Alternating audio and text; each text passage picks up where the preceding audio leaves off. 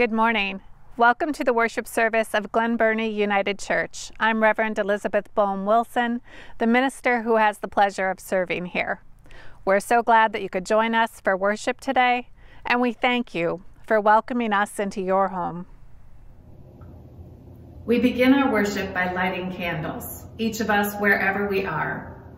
The candlelight reminds us that the light of Christ is with us in every place and it is the light and the love of Christ that draws us together into community.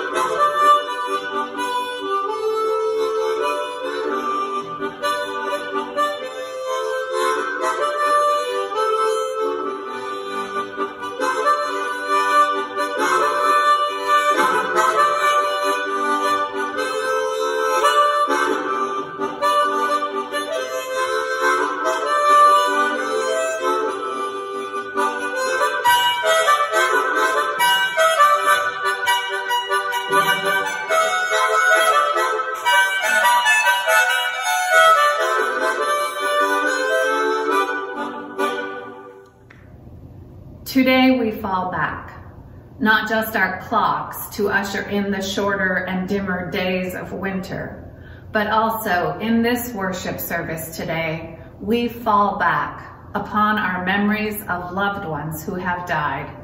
We fall back upon the emptiness that we still feel at their absence. We fall back in gratitude for the cloud of witnesses who have paved the way for us we fall back upon our faith that just as the Holy Spirit has walked with our loved ones, so God's Spirit walks with us. Let us also fall back into the arms of loved ones who are still with us, remembering to tell them how much they mean to us. And in this time of worship, let us fall back into the ever-present arms of God, saying thank you. Shall we pray? O God of the past and the future, we praise you for this present moment. Fill us with your joy and empower us with your Holy Spirit, that our strength may be renewed, to sing a new song of your glory in a world which longs for justice and peace. All this we pray in the name of Jesus, who taught us to pray, saying, Our Father, who art in heaven, hallowed be thy name. Thy kingdom come, thy will be done, on earth as it is in heaven. Give us this day our daily bread, and forgive us our trespasses, as we forgive those who trespass against us. And lead us not into temptation, but deliver us from evil. For thine is the kingdom, the power, and the glory, forever and ever. Amen.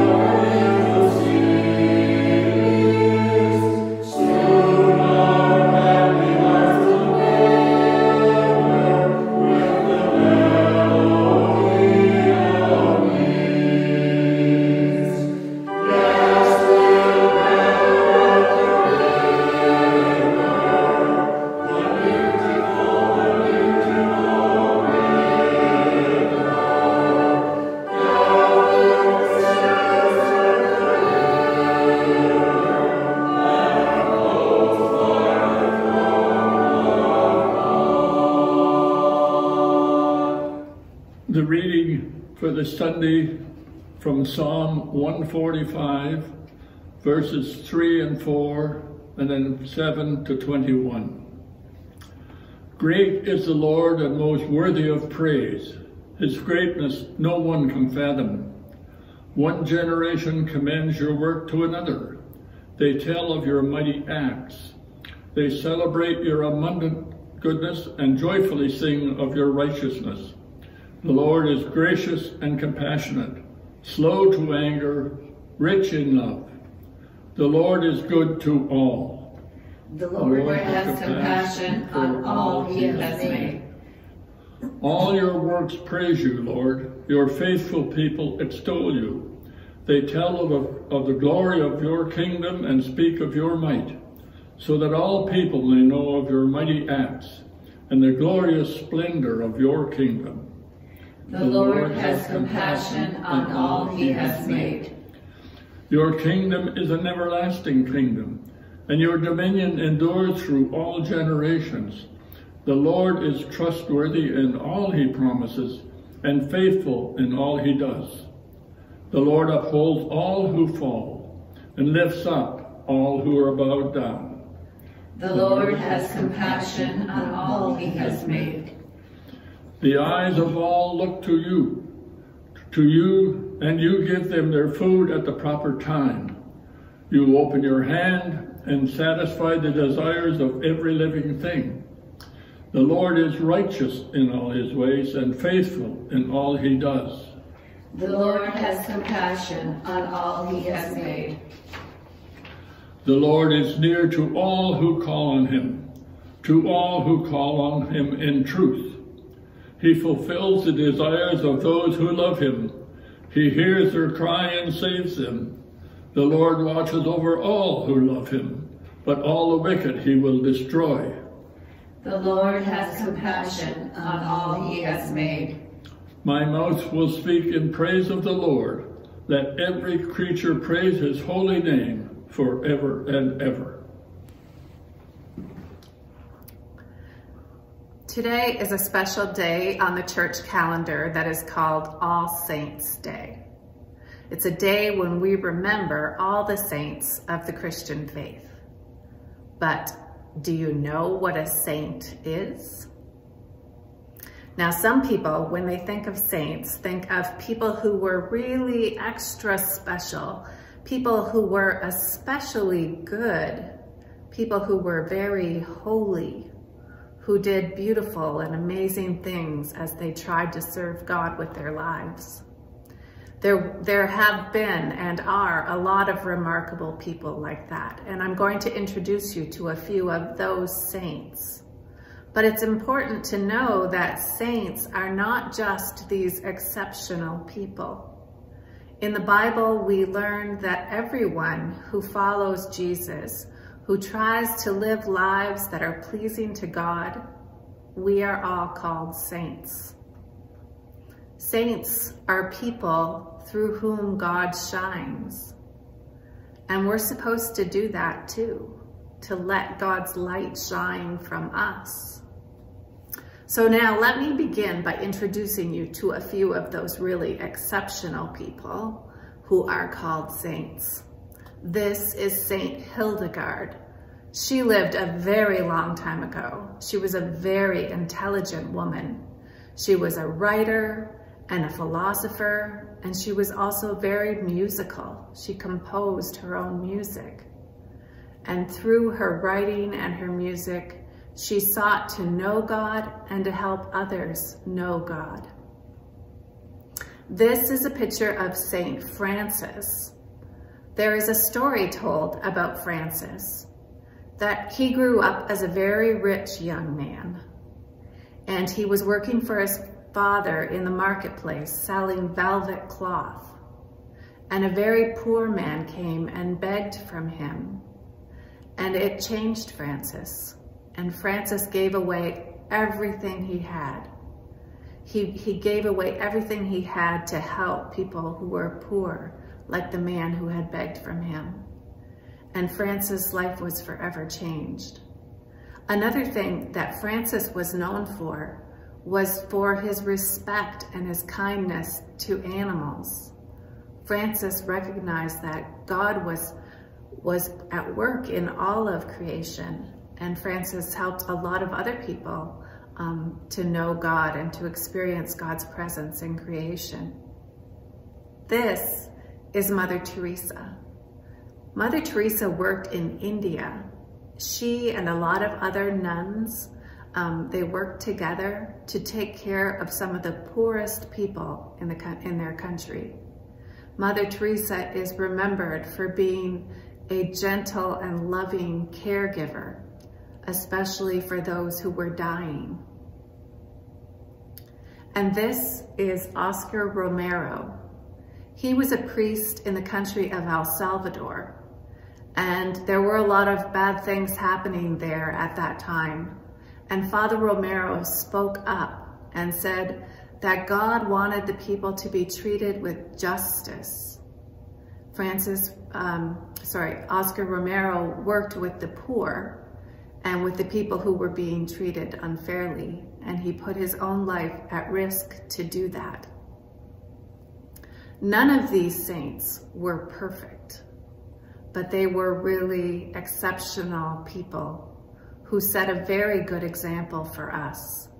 They let God's light shine through their lives, and they and their work or their writing or their example help all of us to learn about God. But there are saints that are closer to us than those people are. There are saints in your own lives. Can you, can you think of anyone who has helped you to know about God? For me, the first two saints that come to mind are these people, my mom and dad. They, more than anyone, taught me about God. They read the Bible to me, they took me to church, they prayed with me, and they set, set a good example. They tried to live lives that were pleasing to God. There were lots of other people along, my, along the way in my life who helped me learn about God. Sunday school teachers and friends and people I went to church with and ministers and college professors. There have been lots of saints in my life. And I hope that there are lots of saints in your life too. Today is a day that we think about them and we thank God for them. Now here, I wanna show you one more picture of a group of saints, some of whom you might recognize. This is us, our church. We are people who are trying to live lives that are pleasing to God. And we are trying to let God's light shine through our lives too. Through our actions, through our smiles, through the way we share, and through the words we say. I hope that you can think about something about yourself, something in your own living that would please God. Maybe you are an especially good friend or a good brother or sister. Maybe you are honest. Maybe you are especially kind and, and caring to others. Maybe you help others feel loved. Today, on All Saints' Day, let's ask God to help us live lives that are pleasing to God, to be saintly, people through whom God's light shines.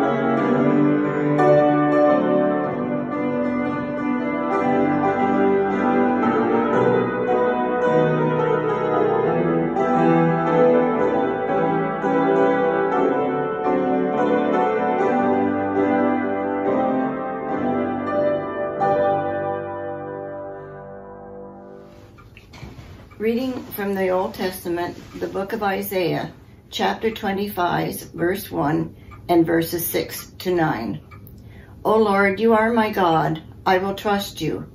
I will praise your name, for you have done wonderful things, plans formed of old, faithful and sure.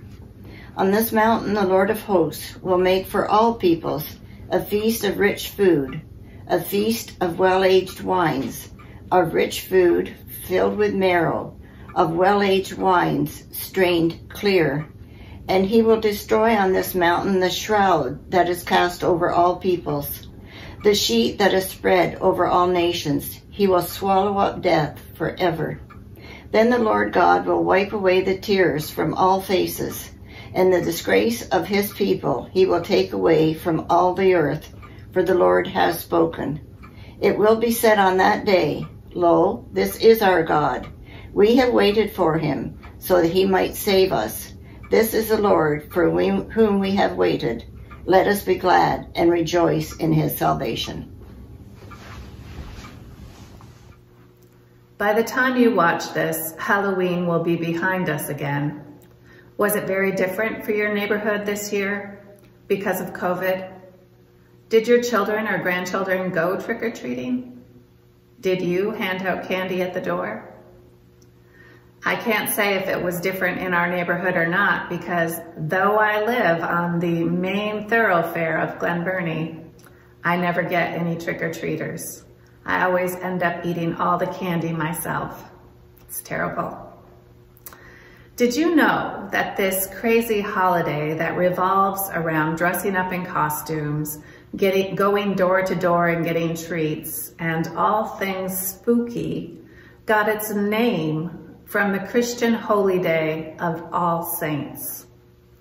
The root word of Halloween is hallow. Does that sound familiar? In the Lord's Prayer, we say, hallowed be thy name. Hallow means holy or set apart. And in the Old English, it could mean saint. Saint, as in one who is holy or set apart. In medieval England, All Saints' Day was known as All Hallows. So the day before All Saints' Day was referred to as All Hallows Eve, and shortened, that became Halloween.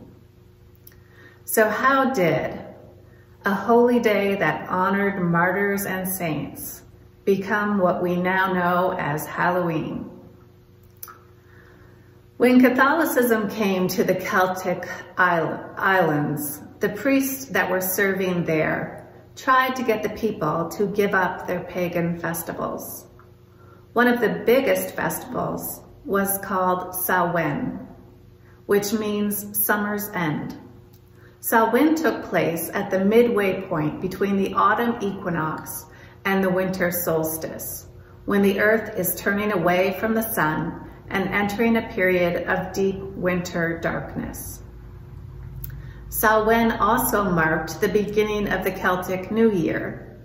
The Celts believed that the year should begin in darkness, just as day began at dusk. They believed that this time of year, that at this time of year, there was a crack between this world and the other world, that spirits of the dead could return and roam the earth. The souls of dead kinfolk might revisit their homes, and so a place was set for them at the table during the Samhain meal. The people also feared that ghouls and fairies could come and make mischief. And so fires were left burning all through the night during Samhain, and people avoided walking in isolated places. And they might wear costumes and masks to disguise themselves so that any spirits that meant them harm would have trouble finding them. In the 8th century, Pope Gregory III had the brilliant idea that it might be easier for people to give up their pagan traditions if they had a Christian festival to celebrate in its place. So he moved All Saints' Day to November the 1st so that it would coincide with the Samhain festival. Later, the church added a second holy day to the mix by appointing November 2nd as All Souls Day. But the Pope's plan did not really work out. Rather than giving up Samhain to celebrate All Saints and All Souls Days, the Celts blended it all together. In our current North American celebration of Halloween, one can still spot some resemblances of the Samhain tradition, but it's pretty hard to spot any resemblance to All Saints' Day. All Saints' Day was established by the Catholic Church in the 7th century as a day to commemorate the martyrs and the saints. That's saints with a capital S. Exceptional individuals who are deceased and have been canonized by the church. These saints were without a doubt in heaven, and the Catholic Church taught that believers might pray to the saints and ask them to intercede on their behalf. All Souls Day was established by the church in the 10th century as a day to remember all the other Christians who had died, who might be languishing in purgatory.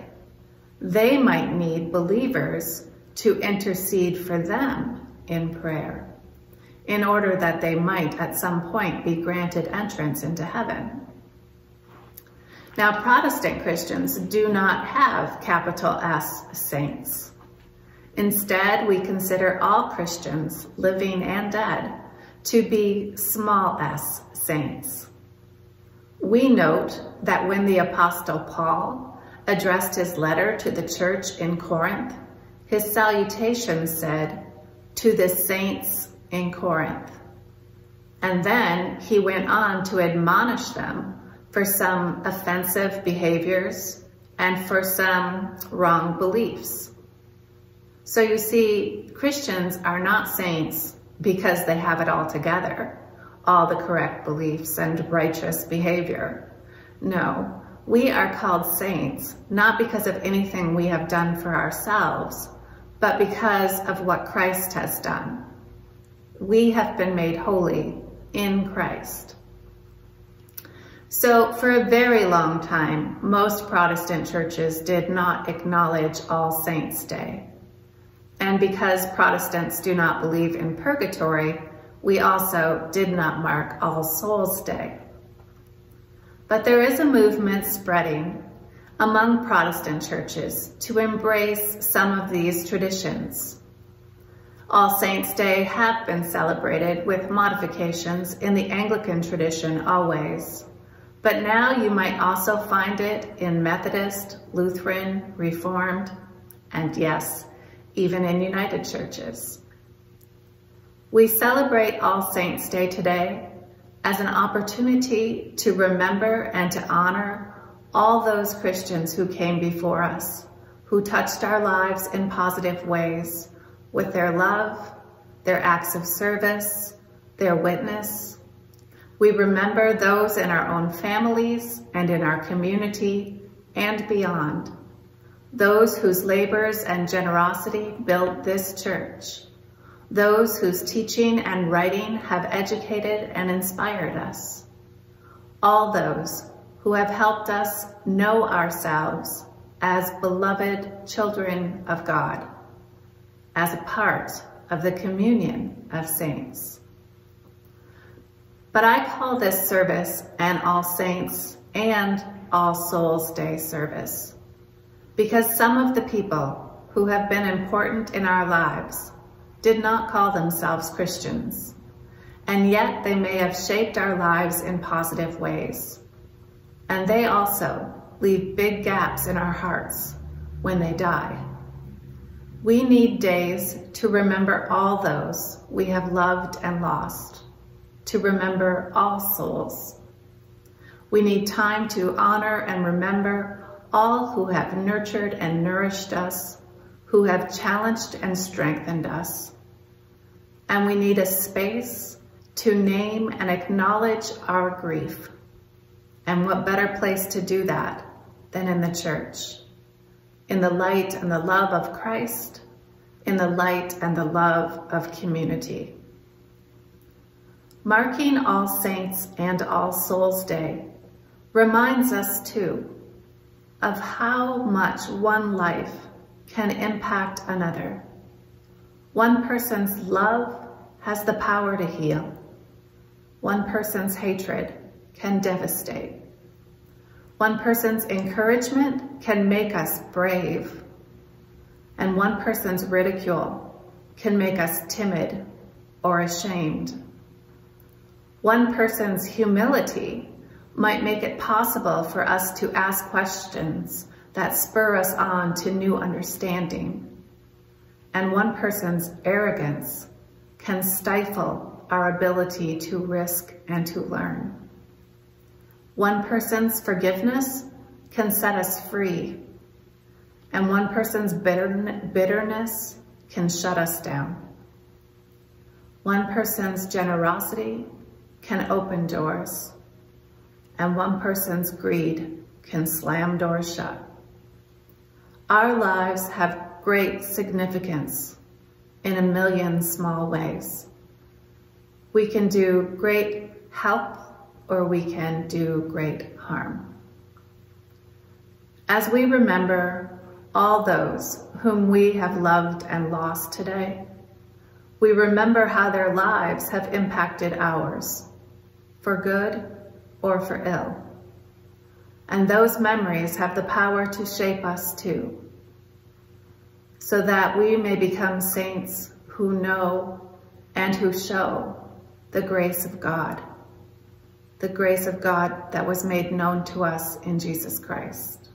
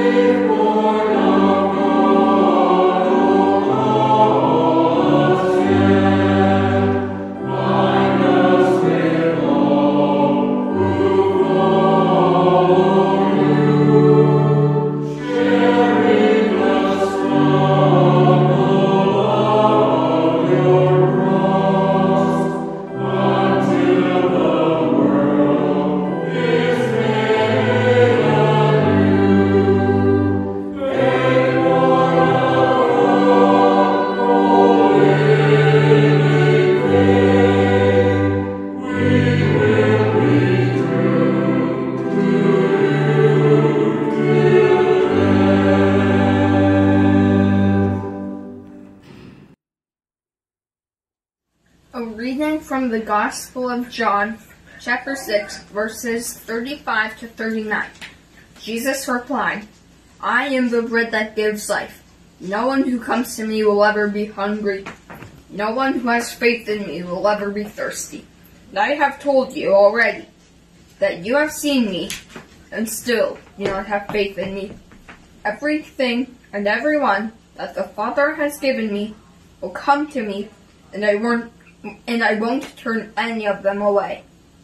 I didn't come from heaven to do what I want. I came to do what the Father wants me to do. He sent me, and He wants me to make certain that none of the ones He has given me will be lost. Instead, He wants me to raise them to life on the last day. A reading from the first of John, chapter 3, verses 1 to 3. Think how much God, the Father, loves us. He loves us so much that he lets us be called his children, as we truly are. But since the people of this world did not know who Christ is, they don't know who we are. My dear friends, we are God's children. Through what we will be hasn't yet been seen. But what we do know is that when Christ returns, we will be like him because because we will see him as he truly is. This is hope. This hope makes us keep ourselves holy, just as Christ is holy. For the word of God in scripture, for the word of God among us, for the word of God within us, thanks be to God. The list of names that I will read today includes the names of people from our church family who have died in the past few years, as well as names of loved ones of yours whose names you have submitted to me. Grief is a long and often lonely road, and by observing this custom, we acknowledge our losses and honor our loved ones who now rest in the peace of God's presence. Ann Peters, Ann Maynard, Alfredo Montalongo, Anne Healy, Arthur and Irma Kemp, Beverly Thompson, Betty Calvert, Bill and Bernie Collins, Bill Fair, Billy Markham, Clarissa Hendry, Clarence Lappin, Catherine Hodges, Cliff and Marjorie Allen, Dennis Garrison, Doe Babcock, Doug and Peg McElroy, Doug and Margaret McKendry, Dwayne Leakey, Elwood and Margaret Palmer, Erica Thiessen, Ernest Sheeman, Harold and Betty McKendry, Harvey Kipfer, Hattie and Ted Morrison, Helen Greenlees, Henry Bohm, Helen McMillan, Hope Powers, Jack Allen, Jacqueline Slade, Jim Wild, James and Gertrude Rennie, Joe and Nadine McKendry, John William Greenwood, John and Rita Crossan, Joey Crossan, Joseph and Louise Crossan, Ken Wright, Kenneth Albrecht, Leo Seltanen, Leaf Wilson, Marcus Bohm, Margaret Carr, Marlon LaRock, Mary Fisher Polk, Mason King, Morris Ziska, Mel Gummer, Nancy Hagen Dyke, Norman Albrecht, Richard Bellringer, Ed and Ruth Kincaid, Roger and Shirley Hurd, Russell Leakey, Tim Henderson, Tim Blacklock,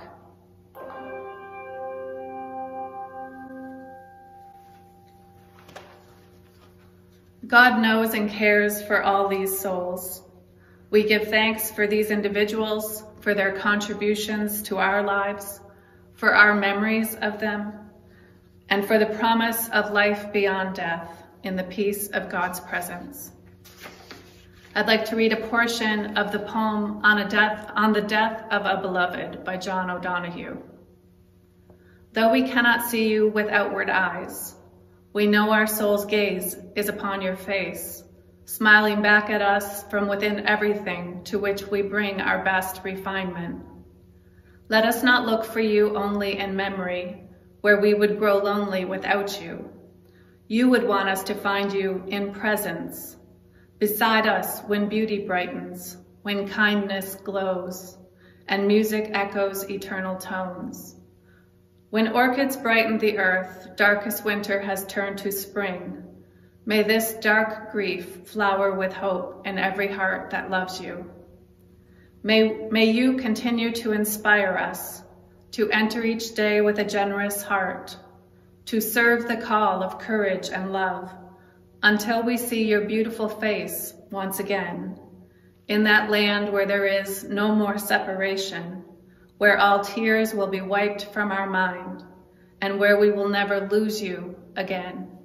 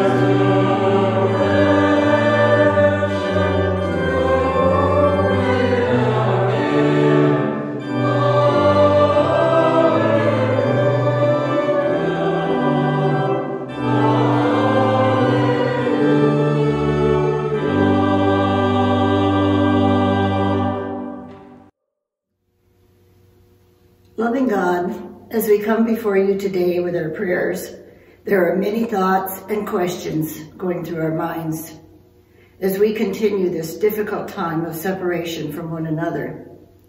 There is also our fear and apprehension of not knowing what is coming next.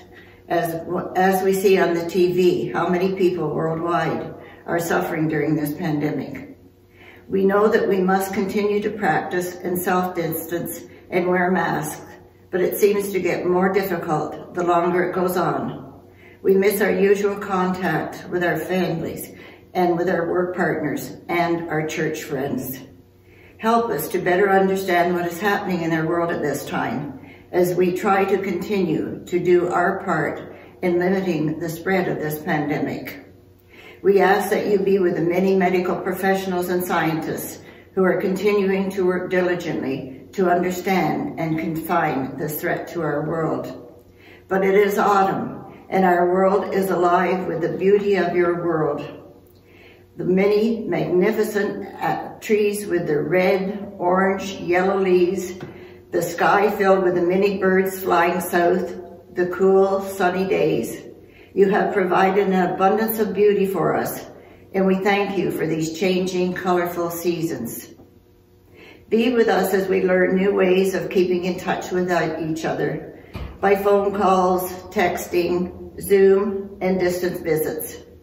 We feel blessed to be part of this amazing, caring, loving, joyful congregation as we wait until we are able to gather together in worship and fellowship. Amen.